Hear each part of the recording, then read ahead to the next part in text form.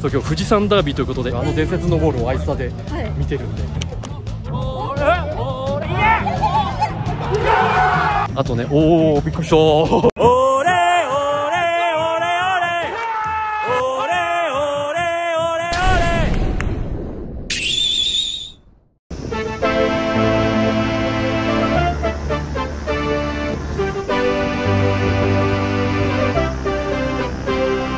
あなたのハートにペネトレイトどうもリベロです。本日もリベロチャンネルご覧いただきまして誠にありがとうございます、えー本日2024年8月17日土曜日明治安田 J2 リーグ第27節清水エスパルス対バンフォーレ甲府の試合でございます。と昨日ですね台風の関係で新幹線とかが運休してしまったということで本当はねいつも前日入りして焼津の実家に泊まってアイスタに来るっていう工程を踏んでるんですけども今日は東京から直接来ました。前回の試合ちょっと盛りだくさんになってしまったので代わりに今日はちょっとねちょっと簡単な感じにさせてもらおうかなと思ってもうすでにアイスターの中におります。もうフードコートとかも行かずに中のコンコースにあるね売店とかでこちらもすでにビールを買わせていただきましてありがとうございます。静岡爆酒でございます。見えるかな？見えてるかな？快晴でございますよ。入道雲とかがすごく綺麗で夏真っ盛りって感じなんですけども暑いんでねビールばっかり飲んでないでちゃんと水分をとって皆さん熱中症対策気をつけてまいりましょう。で今日ね相手が甲府さんということで蓮川選手と中村亮太郎選手が最近ベンチ外だったんですけども久々に復帰ということでこのタイミングでかという出来すぎだろうっていう感じなんですけども戻ってきてくれたということでこれから首位固めして昇格に向けてなおかつ J2 優勝を目指す上には必要不可欠な戦力だと思うんで本当に帰ってきてくれてよかったです。であとねあのさっき甲府サポさんともお話しさせていただいたんですけどもペナトが多分出るだろうということでウタカもいたりするんで今日富士山ダービーということで縁のある相手ですんで、ね、そういう意味でもいい試合にしてなおかつうちが勝ち点3をもぎ取れるように戦ってまいりましょう。で今日はあのーエスパルスサポーターの方結構たくさんの方に聞かれたんですけども林さんは今日来ないのかという。残念ながらね今日は来ておりません。アウェーの大分そしてアウェーの仙台この間のホームの群馬戦と3連勤してくれたんでね今回残念ながら来ておりません。でもねまた今度決まっているところで言うとあの国立の横浜 FC 戦は来るんでぜひ皆さんまたあの林さん見つけたら声かけてあげてください。今日林さん来てないのって言われてちょっと嫉妬しましたもんマジで。いやでもねあの本当に林さんが浸透してくれて人気になってくれて嬉しいです。じゃあね今日はあの林さんの分も勝ち点3持って帰りたいと思います。本日もよろしくお願いいたします。リベロチャンネル。あ落ち着いて飲むビールが一番うまいね普段あんまりこうやって座席で落ち着いて飲むってなかなかないんじゃないですか？そうだね。結構ギリギリまで外にいちゃったりするから。そうですね。ギリギリまで酒崩してますもんね。ヘナトも入ってんのかな？ヘナトねここでうんうん。ここっつってもあの違う席なんだけど、はい。セレッソ戦でヘナトの伝説のオーバーキックをほうオーバーヘッドですか？オーバーヘッドで決めたっていうあの伝説のゴールをアイスタではい。見てるんで。今日は決めないでいただいて。確かに。ここで決まるからそうだね。確かに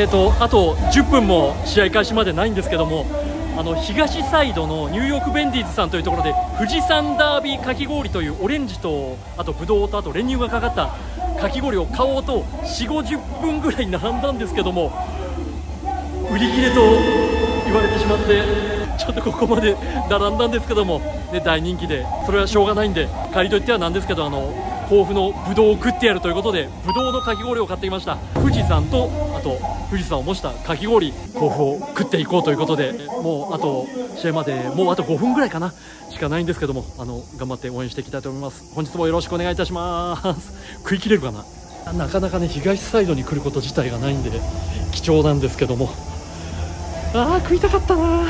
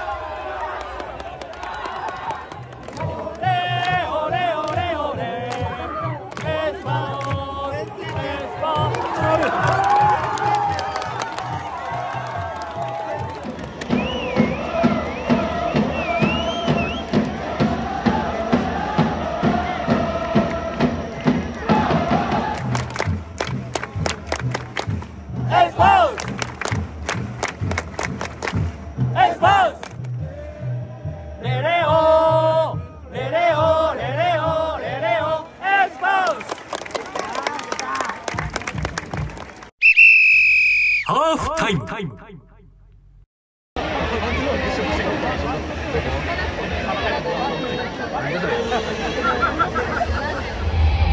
の間の群馬もやってくれてたけどやっぱり相手が青系統とかだとなんだろうオレンジ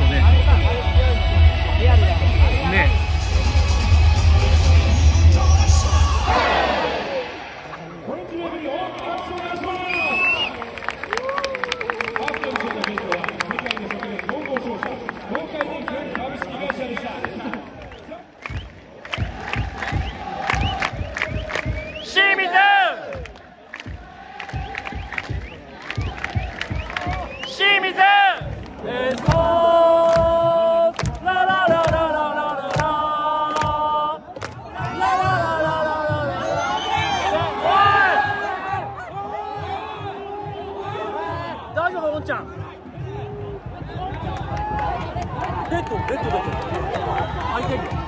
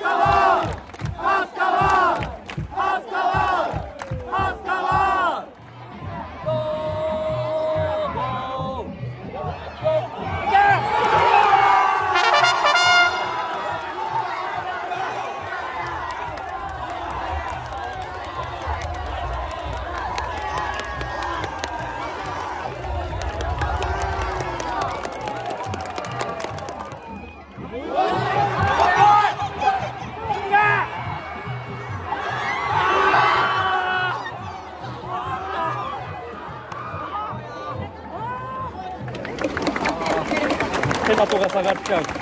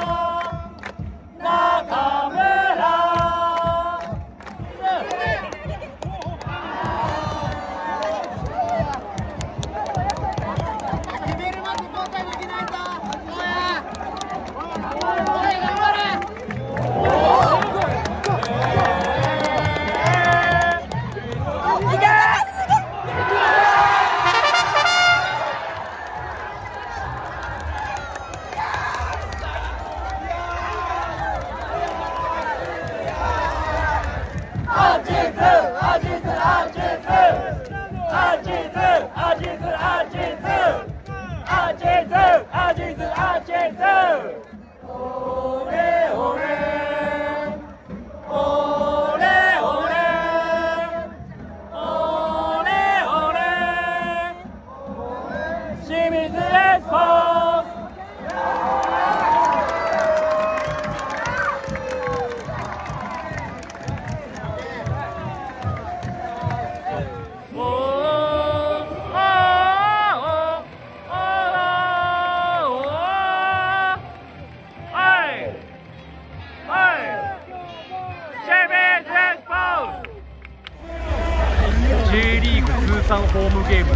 来場者数800万。これがどんぐらいすごいのかちょっとあれですけど。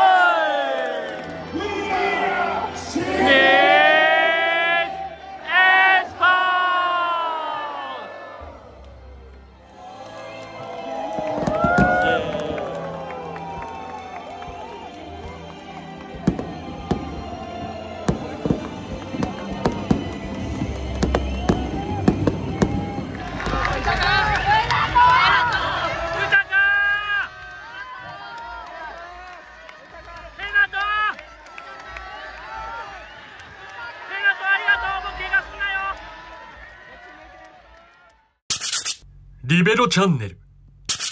いやーお疲れ様でした。勝ってよかった。3-0この間のね4-0に続いて大勝なんですけども。ちょっとねこの間もあのもうちょっと点が取れたなっていうところで。で今回もね相手10人にもかかわらずちょっとね苦戦したというかあと34点ぐらい取れたんじゃないかと思って。たと思うよ。俺？俺？おおおあノームちゃんお帰りなさいませ。すいませんご心配をおかけしましたのむちゃんです。ええお久しぶりです、え相変わらず圧が強い。いやいやいやいやいやどうもどうも。えいつぶりですか？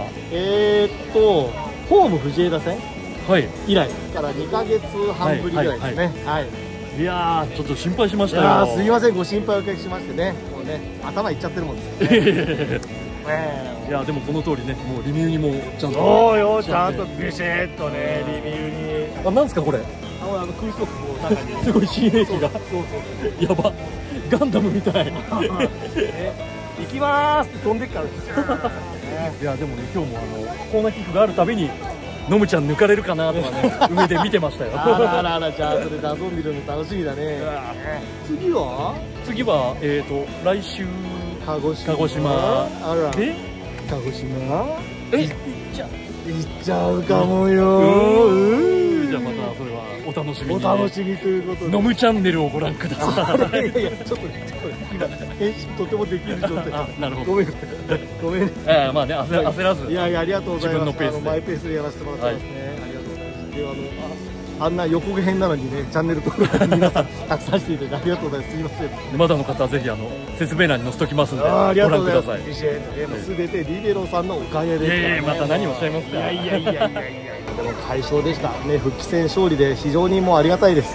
これをアウェーでも見せてほしいそうそう。ね鹿児島で見せろよ。うんはい楽しみにしてるぞ。鹿児島の酒を全部飲み干してやる。うちら飲み干してやりましょうよ。そうだね。殺意も全部引っこ抜いてるんだよ、ええ。いざイエー。イイエー。イ勝ったよパルちゃん。もうちょっと点取れたんじゃないかね。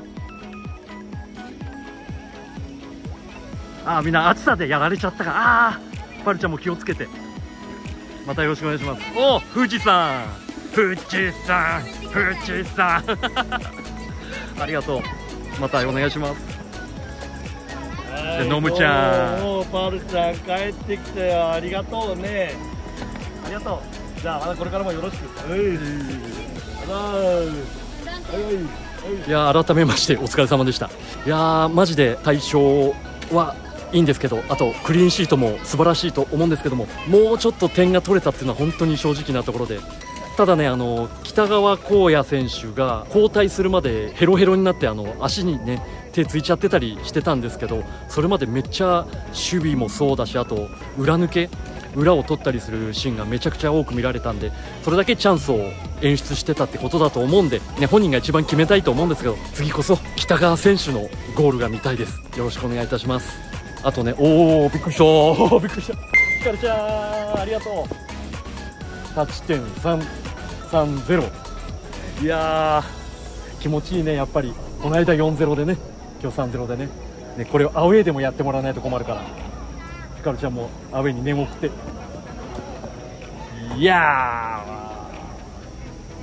あ。りがとう。来週アウェー行ってくるからひかるちゃんの分も応援してきますんで。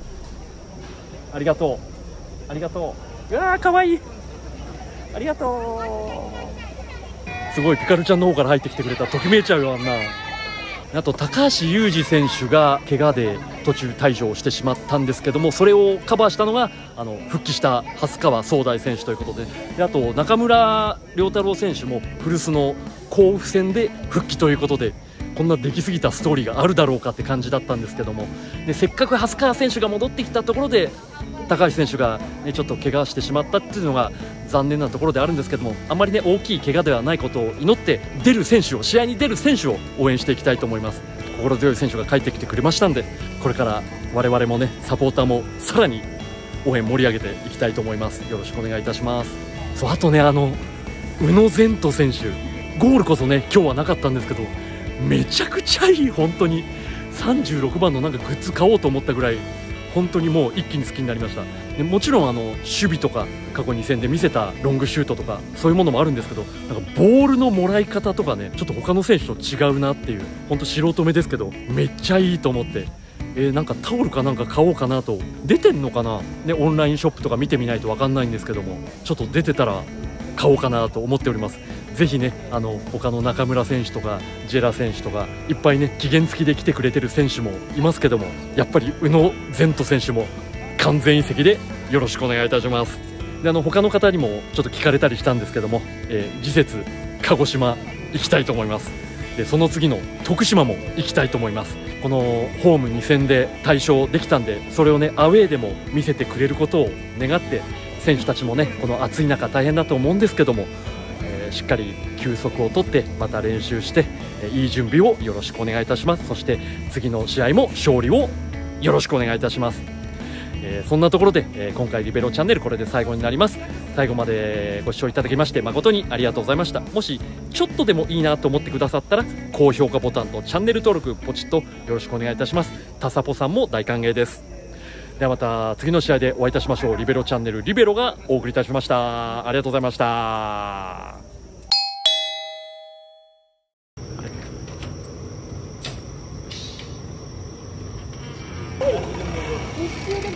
今日初めてなんですけどこのコインロッカーを使わせてもらって300円とあと400円があるのかな、ね、今までちょっと使ったことなくてちょっとねもしかしたら存在を知らない人もいるかもしれないんですけど一応アイスターこういうものはありますので、ね、必要があればぜひ、えーご利用ください。ありがとう。